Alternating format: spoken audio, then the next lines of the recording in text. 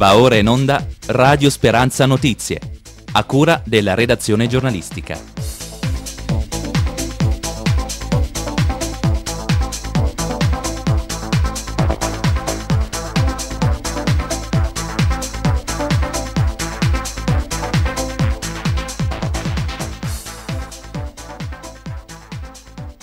Un cordiale saluto a tutti da Massimiliano Spiriticchio al microfono e da tutti noi di Radio Speranza in blu, la radio della Chiesa metropolitana di Pescara Penne. Sono centinaia in Abruzzo le persone che, complice la crisi, dopo aver perso il posto di lavoro, non riescono più a pagare le rate del mutuo per l'acquisto della prima casa. Famiglie che dopo aver pagato il 50, 60 o anche il 70% delle rate rischiano di perdere la propria abitazione per motivi che in molti casi non sono imputabili a loro, quanto piuttosto alla difficile situazione economica. Uno stop alla vendita all'asta della prima casa di coloro che vengono definiti morosi incolpevoli arriva grazie a una legge regionale promulgata in questi giorni. I richiedenti devono avere reddito ISEE non superiore a 35.000 euro e devono dimostrare di essere appunto incolpevoli. Sanità, vertice a Roma per il rientro dal deficit. La Regione Abruzzo, rappresentata dal Presidente D'Alfonso e dall'assessore alla Sanità Paolucci, eh, ieri a Roma per l'importante ed attesissimo vertice al Ministero della Salute per definire gli aspetti tecnici per l'uscita eh, dal commissariamento, all'Abruzzo è stata concessa una premialità di 70 milioni di euro per i traguardi raggiunti. I funzionari del Ministero hanno apprezzato gli sforzi e il lavoro messo in atto, approvato il piano sanitario regionale, riconosciuti gli adempimenti sui livelli essenziali di assistenza. Nel prossimo mese di maggio, secondo Paolucci, il governo potrebbe de- definire l'uscita dal commissariamento da parte della regione.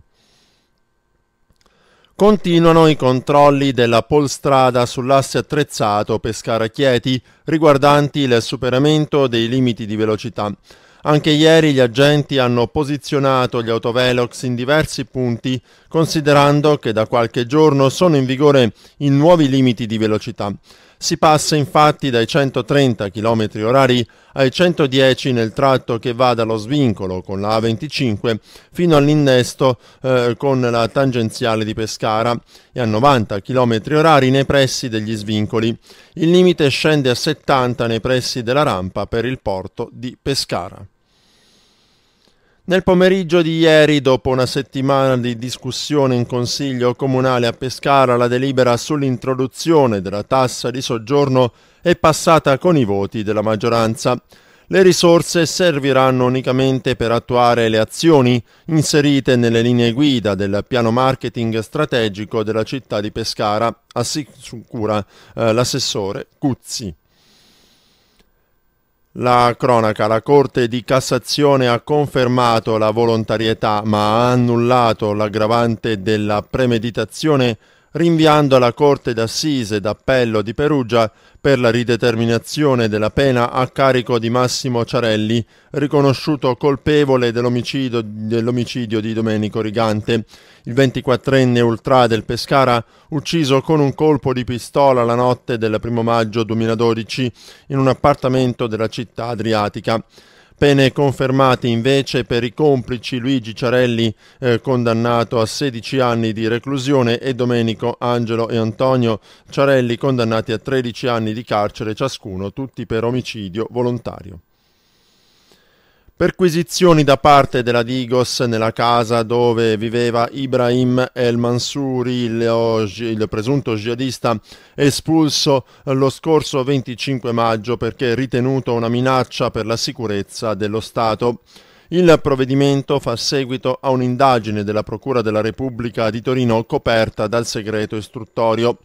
Lunedì mattina gli agenti della Digos, artificieri con eh, cani antiesplosivo e un'unità di eh, cinofili hanno passato al setaccio la casa a San Martino dove l'uomo viveva con moglie e figli estranei ai fatti. Controllati anche il suo furgone e i campi vicino casa. Da quanto trapelato la perquisizione avrebbe dato esiti negativi.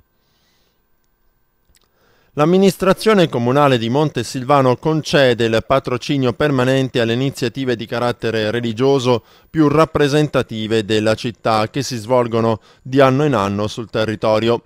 Lo prevede una delibera di giunta approvata ieri con il, il, il, patrocinio permanente che è previsto per questi eventi. La festa in onore del santo patrono della città di Spoltore, San Panfilo Vescovo, la rievocazione storica della Madonna del Popolo, le sacre rappresentazioni della Natività e della Madonna che corre, le feste in onore dei santi protettori delle singole frazioni, quali Santa Teresa d'Avila, San Camillo dell'Ellis, i santi Cosma e Damiano, San Filippo Neri e la Santissima Maria Assunta, e i festeggiamenti in onore dei santi protettori delle contrade come San Giacomo a Cavaticchi, eh, Santa Lucia in contrada Santa Lucia, trasportata Spoltore il capoluogo Santa Teresa.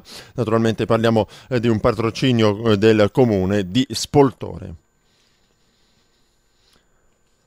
Oggi è mercoledì 20 aprile, la direzione, la redazione, la regia e tutti i collaboratori di Radio Speranza augurano buon anniversario di ordinazione sacerdotale a padre Fabrizio Di Fazio e siamo alle previsioni del tempo. Oggi su Pescara e provincia si prevedono sulla costa nubi sparse fino a metà mattino, cielo sereno in tarda mattinata, nubi sparse nel primo pomeriggio e cielo sereno nel resto della giornata con temperature da 12 a 18 gradi e venti moderati e nelle zone interne cielo sereno fino a metà mattino, nuvoloso in tarda mattinata, sereno nel pomeriggio e da poco nuvoloso a nuvoloso in serata con temperature da 11 a 18 gradi e venti moderati. Il mare è previsto da calmo a poco mosso. Ed era l'ultima notizia per questa edizione del nostro notiziario. Da Massimiliano Spiriticchio al microfono e da tutti noi di Radio Speranza in Blu, la radio della Chiesa Metropolitana di Pescara Penne. Grazie, a risentirci.